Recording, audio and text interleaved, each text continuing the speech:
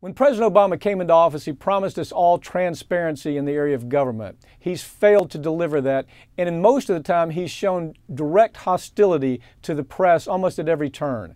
Joining me now to talk about this is newspaper publisher and journalist Rick Outzen. You know, Rick, just another one of those ironies that is coming out of uh, out of the White House. We remember Obama running two terms on transparency, how important it is to be transparent and let the Constitution work in the in the United States. Remember all those speeches he gave about right. transparency, and we have to change the Bush years.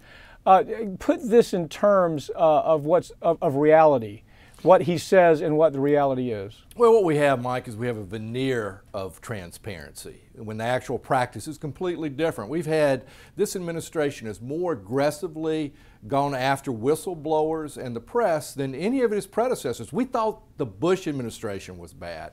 But we now we're looking at the Obama administrations, and they've gone after seven employees using the Espionage Act of 1917. You know, a bill that was created uh, for World War I, and, and he's done used it more times than any of his predecessors. It, it's really shocking to me. Well, what he does, Rick, I think the most troublesome thing, it's the same thing he does. He, uh, we've seen it so many times with this president.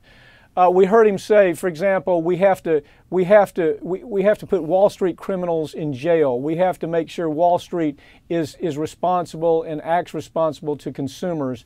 And then the next next thing we see is there's no no prosecutions. Wall Street sells I mean sells us down the river to the tune of about 13 trillion dollars, steals from mom and pop pension programs. This president has done nothing about it. Zero has done nothing at all. And it's the same kind of thing where he said during those years he was running, I'm going to do this, and absolutely just the opposite is true. Same thing is here with transparency, isn't it? I mean, right. exactly the same, it, the same president. Right. The same kind of nonsense, uh, just rhetoric talk, and then no, nothing but just the opposite.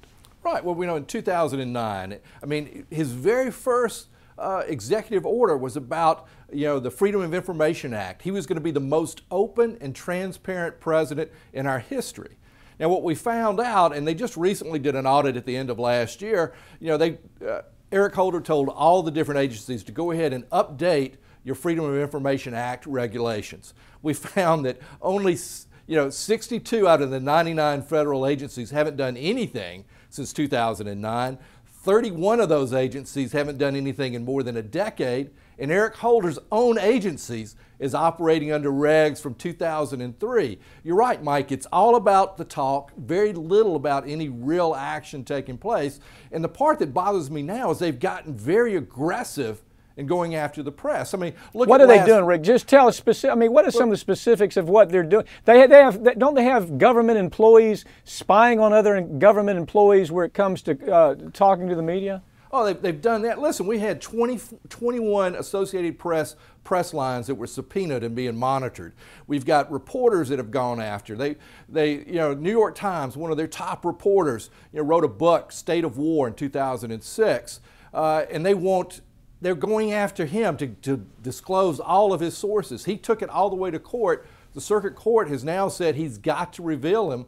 So they're willing to prosecute uh, an author for a story that was written in 2006 about things that happened in the Clinton administration. So, you know, so, it's, it's just aggressive. It's an aggressive it, approach. As you look at this story, the, of course, the thing that started this story was the, the, this report that came from uh, the Committee to Protect Journalism and Journalists.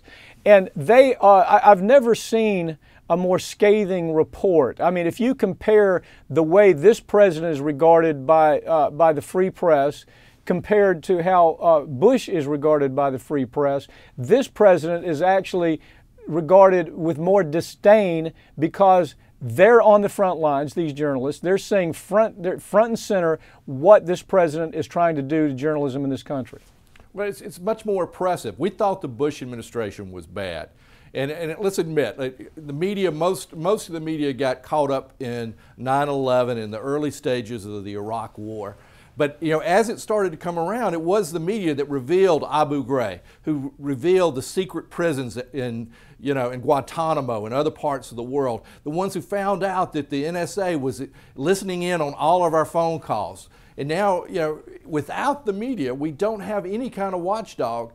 And the Obama administration, while he says one thing, on the whole other side of the story, it, it's they're, they're squashing whistleblowers. They're squashing any press that tries to, to find out what's really happening behind the scenes. And it's a, it's a horrible statement for an administration that, that our expectations were so much higher for, Mike. Well, what, when we, I mean, all we have to do is look at the numbers. We don't have to pontificate. We don't have to no. guess. The numbers speak for themselves. 92 million. This is the number I see coming from this report 92 million decisions to classify information, more than they've ever seen. I mean, 250,000 U.S. State Department cables uh, that, that all of a sudden, well, we can't talk about this. We can't talk about virtually anything that even looks like the, the type of thing that the media should be reporting about. It's not security issues. These aren't just no. these aren't only security issues, but you have 4 million Americans who have been given security clearances and the reason they do that of course they give the person security clearance because then if they violate the clearance, they can be prosecuted. So this is just a back this is a backhanded way of doing it. The other thing you're doing, Rick, talk about the website. How, how it's almost black humor when you think of the, you think of the Beltway putting up a website that says this is our disclosure. Th- these are our methodologies. All it is is a PR campaign for this president. Right. Yeah, you're right. You know, they, they created the open government website where we were supposed to be able to get all the data that we wanted to have. We could send in our information request and it would be answered promptly. But what we're finding out, and you're right, Mike, they're classifying everything. They've, they've actually, the Bradley Manning case showed us that they were classifying newspaper articles. so that, you know, calling those classified in some of the pouches that they were delivering. They've also created a new job classification, Mike. It's called the non-critical sensitive job, which they, they, these people don't have any access to classified material, but they cannot whistleblow because they're considered uh, sensitive. And they've, so they completely squashed them being able to go to the Merit Systems Board Administration to report discrimination, to report abuses. Uh, so they've created this loophole while they're saying they're protecting whistleblowers like, like you've said before, they create this whole new job classification that makes it, uh, you know, frightens people from coming forward when they see the abuses that are taking place. Well, I mean, look, I think what the ugly, there's so many ugly parts to this story, but I think what troubles me the most are these these what I call them Obama bots. They are people that you know they're so they're so connected to being a Democrat and they're so they're so all in with this president that they can't say this is wrong. You know, and so what, what, what the Obama administration, for the Obama bots, what he does is he comes out with something called the West Wing Week, which is some film that they put out on the internet. And it's this newscast they put out on the internet talking about what we've done in Washington this week. Well, it's just one big PR scam. Right. Or the way that the, the, the way that they have used the internet is to make it one PR scam rather than saying this is what's happening that's important to you. These are things we did this week. All of that is covered up. It's subject to, to, to prosecution by any, any journalist that, that goes after it. And, and what we have is him saying one thing, and then what he's doing on the other end is completely opposite. Rick, how about this? How about them trying to, to quantify and classify what a journalist is? to where they can prosecute. They can say, "No, you're not a journalist. Right. You just do television. You don't do investigative journalism. Journalism. So you're not a journalist." What, what's your take on that? Well, again, it, it's it's trying to subvert the whole process. They, they and you're right, Mike. The West Wing, the West Wing is is it's so frustrating to watch as a journalist, and I think I might qualify as one, but it, under their definition.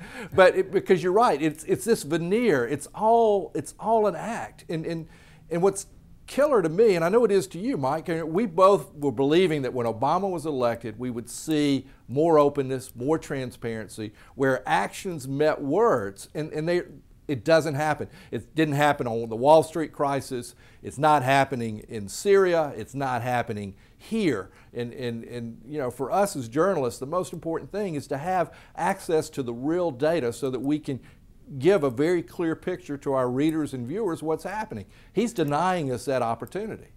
Well, I think it's worse than that. What he's what he's actually coordinated is, for example, these these coordinated attacks on really capable journalists like Seymour Hersh. I mean, Right. Seymour Hersh is now even doubting the, the this whole backstory of, of Osama bin Laden, and all of a sudden, Seymour Hersh uh, feels the brunt, feels the the attack of of, of the Washington White House.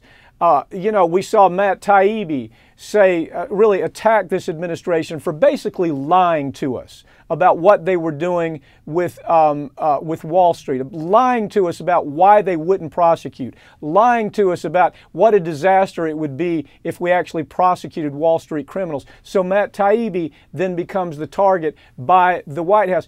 Doesn't this sound like the days of Nixon? How do you, how do you in any way, differentiate what Obama's doing with what with those Nixon years. I don't think you can, Mike, and that's what's so disheartening about it. You're right. It's it's it's it's going after the very core of what journalism is about. We're supposed to be the watchdog of wrongdoings. We're supposed to be the ones who judge the performance of the president and the administration. And what they've done is they've classified anything that puts them in, a, in an unfavorable light. And, and that's not what we expect. And, and what we're finding is that there's very little difference between the Republicans and Democrats now. Oh no, they're both the same. They're, they're both carrying the water for this president on that. Look, we see better response uh, for journalism in places like Asia, the Middle East, Africa, and Russia, for God's sakes. And here we have a. It's gotten so bad. Is is you have this administration called Top Secret America. That's what we have become, top Right. secret America. And the talking point is, oh, we can't talk about that because it might end up in, in uh, hurting our war on, on terror, with this ubiquitous war on terror that every time they want to pull out that card, they do. Where does it end? Where does it end? Does it, ha- does it have to end with, the, with a new president, or are we going to see this through the end of his administration? I, I think we're going to see it through the end of the administration. I think if, if the bone, it's already been set, the precedent has been set. I don't think we can shake it from it. It will take a new president. But you're right, we have set the standard for free press up until recently. But we have always set that standard. And now you're going to where people can get better news coverage going to Al Jazeera TV than they can from CNN or Fox. Well, they certainly or- get better coverage on Free Speech TV, this program Right. that we're doing. We, do you think mainstream media would ever criticize this president like this unless it's Fox News, the, you know, the babble of crazy? Uh, but the mainstream media is even afraid to talk about these issues. We need to talk about it on Free Speech TV. Rick Outzen, thank you for joining me, okay?